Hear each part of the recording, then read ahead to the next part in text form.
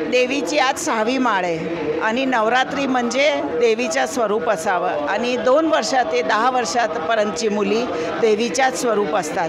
म्हणून आम्ही दरवर्षी सहावी माळाला कॉर्पोरेशनची जे ज्यांना कुणी बोलवत नाही तशी मुलींना बोलवून त्यांच्या विधिवत पूजन करतो. पाय धुवून त्यांना हळदी कुंकू लावून त्यांना गजरा फूल सगळं अत्तर वगैरे लावून नंतर त्यांना शाळे उपयोगी वस्तू आम्ही देतो. हे दरवर्षी आम्ही जवळजवळ पंचवीस वर्ष झाले हे करत आलो आहे महालक्ष्मी मंदिरातर्फे हे दरवर्षी होत राहतं आहे वेळ्याच्या मुलींना आम्ही बोलवतो.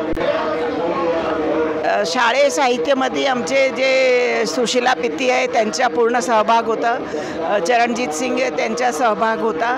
आणि लोक आपोआप येऊन कन्याची पूजन करायला ते खूप वस्तू घेऊन येतात आणि ते देतात कन्याला.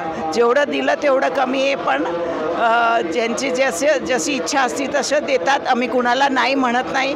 आपोआप येऊन सगळेजण देतात. आणि हा पूजन खूप महत्त्व आहे. कन्यापूजनच्या नवरात्रीत खूप महत्त्व आहे. देवीच्या स्वरूप मग देवीला जी वस्तू आपण अर्पण करू ती कन्या स्वरूपे त्यांच्याकडे पोचती. म्हणून कन्याला आपण खूप उत्तम देवीच्या स्वरूप मानून त्यांच्या पूजन करतो. आता ते काय शिकले ते त्यांना माहिती पण तेवढं त्यांना कळालं की आमचं काहीतरी महत्त्व आहे समाजात. कारण काही घरात अजूनही मुली वंचित राहतात. त्यांना काही पुरेसं मिळत नाही. मग त्यांना अशी पूजा करून त्यांना स्वतःचं महत्त्व त्यांच्या आत्मबल त्यांचा आत्मसन्मान वाढतो.